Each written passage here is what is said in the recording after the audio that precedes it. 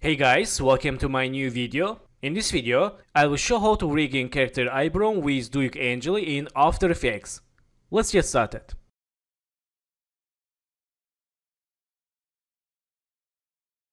So friends, after finish video, I will share project files for download.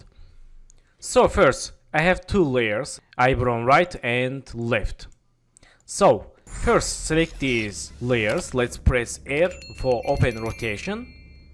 Then, make new rotation keyframes and go to 10 keyframe. Let's click here, write plus 10, click OK and make new keyframes. Go to again 10 keyframe, go to here, click, write plus 10, click OK, and make new keyframes. Okay, so go to first keyframes. Let's say first left keyframe and chain rotation like this. Select this eyebrow right keyframe, chain rotation. Okay, and go to here. Select this keyframe let's change rotation like this and this chain rotation. Okay not bad. And go to last keyframes. Select first eyebrow left chain rotation like this.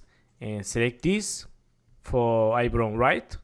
Change like this okay let's see nice so right now let's go to window and open Duik Angela. Okay, so after open Duik Angela, go to click this icon and in this time I want to open connector.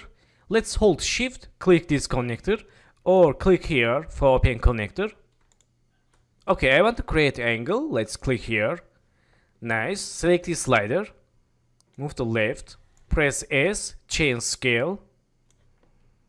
Okay, select this slider. Go to FX control open handle and we can change size here. Nice. So let's select these eyebrow left keyframes and hold shift select eyebrow right keyframes. Then go to Duik Angela and don't change any settings click next.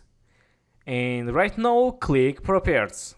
Okay let's go to controller and press air open rotation and let's see Nice. Right now we can animate these eyebrows with this controller. Let's try.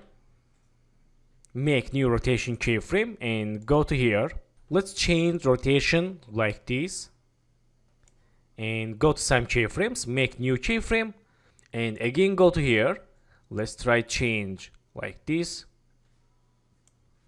Okay, let's animation. Nice. So we can control this slider with this rotation tool. Let's see. Okay, very good.